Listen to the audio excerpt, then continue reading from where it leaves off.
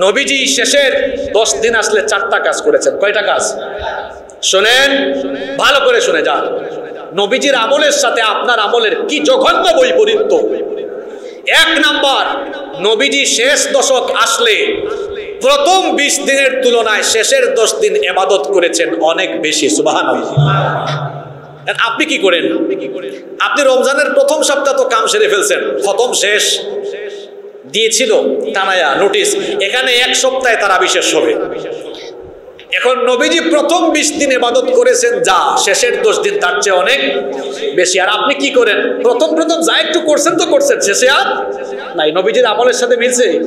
নবীজির দুই নাম্বার আমল ছিল নবীজি প্রথম বিশ দিন রাতের বেলা একটু হইলেও ঘুমাইতেন। যেমন উদাহরণ যদি দেই, তারাবির নামাজ শেষ, দুই এক ঘণ্টা ঘুমাইয়া উঠছেন আবার কিয়ামুল্লাইল তাহাজ্জুদ পরে সারি খাইছেন। এটা নবীজির প্রথম বিশ দিনের আমল।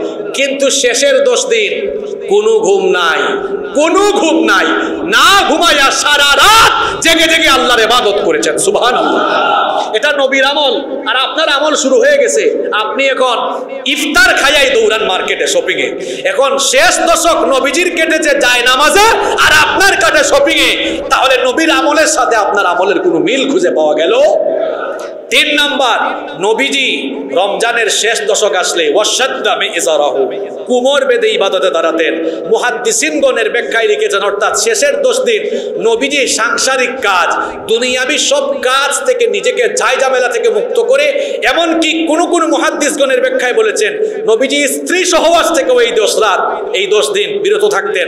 দুনিয়ার সমস্ত ঝাই ঝামেলা থেকে মুক্ত হয়ে, একদম এবাদতের জন্য একশো ভাগ ফ্রি হয়ে, শুধু দশ দিন এবাদতই কাটিয়েছেন সুহান আপনি কি করেন? ওই শেষের দশ দিন দুনিয়ার সব ঝামেলা। আরে বাপরে বাপ শ্বশুর বাড়িতে ইয়ে পাঠাইতে হবে। কি জানি কয়? ঈদের শপিং হেরে শপিং এরে শপিং এই ঝামেলাগুলো রমজানের আগে শেষ করেন নাই কেন? আর যদি ঝামেলাগুলো বাকি থাকে, বাকি আছে তো আছে। এখন এগুলোকে আপনি দিনের বেলা করবেন, রাতে না। দিনের বেলা এগুলো করা যাবে না। কারণ রাতের আমল নবীজির এই শেষের দশ রাতের আমল, তিনি রাতের বেলা না ঘুমায় এবাদত করতেন। আমরাও করব তো ইনশাল্লাহ চার নাম্বার নবীজি একা একা আমল করতেন না।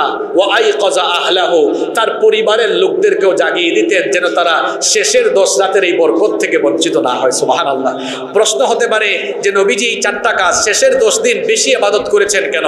কারণ রমজানের সবচেয়ে বড় নিয়ামত লাইলাতুল কদর, কুরআন নাজিলের রাত, লাইলাতুল কদর, ওই কদরের রাত রমজানের শেষ দশ দশকে রয়েছে আপনারা তো বাংলাদেশের সাতাইশতম রাত বানাইয়া ফেলছেন। থেকে বানাইছেন এটা?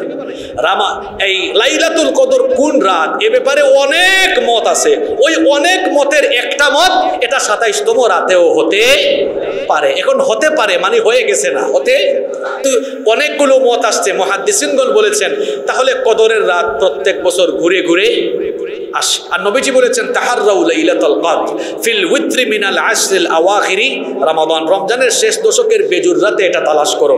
তাহলে কোনো বছর এটা একুশতম রাতে হতে পারে, কোনো বছর তেইশতম রাতে হতে পারে, কোনো বছর পঁচিশতম, কোনো বছর সাতাইশ, কোনো বছর উনত্রিশ এখন আপনাকে যেন কদর ফেলে দিয়ে না যায়, কদর যেন ছোটে না যায়। এজন্য আপনি যে কাজটা করবেন, আমি তো ছোটবেলা গ্রামে বড় হয়েছি।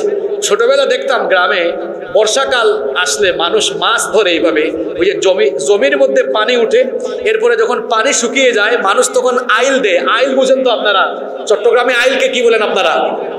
হ্যাঁ? বাঘ? আচ্ছা বান বান দিছে আর কি বাদ তো আইল দিয়েছে বাদ দিয়ে রাখছে। বাদ দেওয়ার পরে ওই সিলেটে এটাকে বলে রুঙ্গা আর আমি শুনছি চট্টগ্রামে এটাকে বলে সাই। সাই বুঝেন তো? নাকি আপনারা অন্য কিছু বলেন?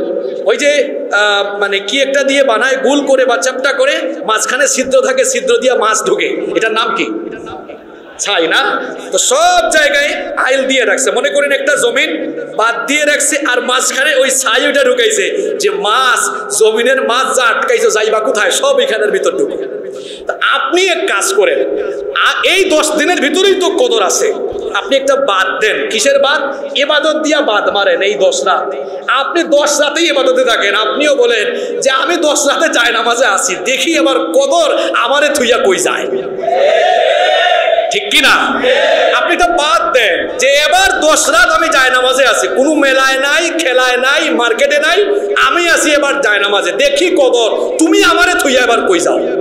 এভাবে যদি দশ রাত এবাদতে কাটানো যায়, লাইলাতুল কদর এই বছর আর ছোটার কোনো সম্ভাবনা আছে? লাইলাতুল কদরকে পাওয়ার জন্য, লাইলাতুল কদরের বরকত পাওয়ার জন্য পাঁচটা কাজ করবেন। কয়টা কাজ? এটা বলেই আজকের আলোচনা শেষ। পাঁচটা কাজ। এক নম্বর কাজ করবেন, এই আজকের রাত থেকে প্রত্যেক রাতে আপনারা কিয়ামুল লাইল করবেন। কোনো একটা রাতও তাহাজ্জুদ নামাজ ছাড়া কাটাবেন না। পারলে জামাত পারলে কি? জামাতে আসুন। এই ফজমিয়া কন্ট্রাক্টর জামে মসজিদে আজ রাত থেকেই কিয়ামুল লাইল শুরু হচ্ছে ইনশা আল্লাহ তাহলে একটা প্রতিজ্ঞা গ্রহণ করুন যে এই দশটা রাত আমরা সবাই তাহাজ্জুদে কাটাবো হিংসা একটা রাতও মিস হবেন না। রাজি আছেন তো সবাই? কারা কারা এই দশ দিন, এক রাতও তাহাজুদ মিস দিবেন না? একটু হাত তুলে দেখান তো। মাশাল আল্লাহ আপনাদেরকে কবুল করেন। এক নাম্বার আমল বললাম, শুনেন। এখন যদি লাইলাতুল কদর পে দশ রাতেই তো তাহাজ্জুদে দাঁড়াবেন। এখন নবীজি বলেছেন আল্লাহ বলেছেন, লাইলাতুল কদরি খাইরুম মিন আলফি শাহর, কদরের রাতের আমল, এটা হাজার মাসের চাইতে উত্তম। তাহলে দশ রাতই তো দাঁড়িয়েছেন, কদর তো আর যাওয়ার সুযোগ নাই। তাহলে যে রাতেই কদর হোক, ওই রাতের তাহাজ্জুদ আপনার হাজার মাসের তাহাজ্জুদের চেয়ে উত্তম হবে, সুবহানাল্লাহ। এক নাম্বার আমল তাহাজ্জুদ বাদ যাবে না। দুই নাম্বার, একটা রাতও আমরা কোরআন তেলাওয়াত বাদ দিব না। পারলে দশ দিনে খতম একটা মারবো। প্রত্যেক রাতে তিন তিন পারা করে পড়ব। নিজে নিজে পারবেন না? তিন দশে কত হয়ে গেল? তিরিশ। এটা হলো দুই নাম্বার আমল। তিন নাম্বার আমল, প্রত্যেক রাতে সামর্থ্য অনুযায়ী সৎকা করবেন। কারণ এই যে আপনি সৎকা করছেন প্রত্যেক রাতে, কদরের একটা রাত তো ওই রাতের ভিতরে পড়বে।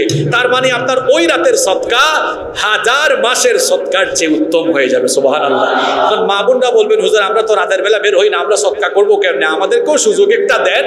আপনারা বাড়ির মধ্যে, বাসার মধ্যে একটা দান বাক্স বানাবেন। আর কদরে, কদরের উদ্দেশ্যে সৎকা করছেন, এই নিয়তে দান বাক্সে রেখে দেন।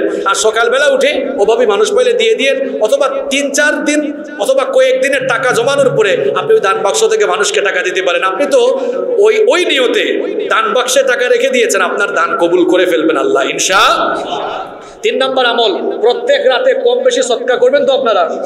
চার নাম্বার আমল, আপনাদেরকে বলে যাচ্ছি চার নাম্বার যে আমলটা করবেন, প্রত্যেক রাতে নবীর উপরে বেশি বেশি দুরুদ পড়বেন। দুরুদ সবচাইতে লাভজনক আমল। এটা এমন এক আমল। নবীর উপরে দুরুদ পড়লেই আমল নামা থেকে দশটা সগিরা গুণা মাফ হয়ে যায় সোভান সাথে সাথে আল্লাহ দশটা নেকি দেন, সাথে সাথে আল্লাহ আপনার দশটা মর্যাদা বাড়িয়ে দেন সোভান তাহলে বেশি বেশি দুরুদ পড়ব তো আমরা ইনশাল্লাহ পাঁচ নাম্বার আমল, আমরা এই দশ রাত বেশি বেশি মোনাজাত করব, দোয়া করব। আম্মা জান আয়েশা রাদিয়াল্লাহু আনহা বলেন, নবী, আপনি এই দশ রাত এত ইবাদত করেন কেন? নবীজি বলেন, আয়েশা, জানো না এই দশ রাতের ভিতরেই কদরের রাত আছে। আম্মা জান আয়েশা বললেন আচ্ছা ঠিক আছে, বুঝলাম। তাহলে আমি যদি কদরের রাত পাই, কোন দোয়াটা করব? নবীজি শিখালেন, আয়েশা, এই কদরের রাতের জন্য তুমি দোয়া করবা, আল্লাহুম্মা ইন্নাকা আফুউন তুহিব্বুল আফওয়া ফাআফু আন্নি। অর্থ হলো, হে আল্লাহ, তুমি তো ক্ষমাশীল, তুমি ক্ষমা করতে ভালোবাসো, তুমি আমাকে মাফ করে দাও সুবাহান তাহলে শেষের দশটা রাত এই আমল করা যাবে তো? কয়টা আমলের কথা বলছি? এক নাম্বার, একটা রাতও আমরা কি বাদ দিব না? আরও জোরে বলেন। তাহাজ্জুদ। মসজিদে আসবেন তো? দুই নাম্বার। আমরা কোরআন তেলাওয়াত বাদ দিব না ইনশা আল্লাহ তিন নাম্বার, প্রত্যেক রাতে আমরা কম বেশি সৎকা করব ইনশা আল্লাহ চার নাম্বার, নবীজির উপরে এই দশ রাত বেশি বেশি এই দশ দিন দূরত পড়ব ইনশা আল্লাহ পাঁচ নাম্বার হচ্ছে, আমরা এই দশ রাত, দশ দিন বেশি বেশি আল্লাহর কাছে দোয়া করব ইনশা আল্লাহ আল্লাহ তালা আমাদেরকে আমল করার তৌফিক দান করেন।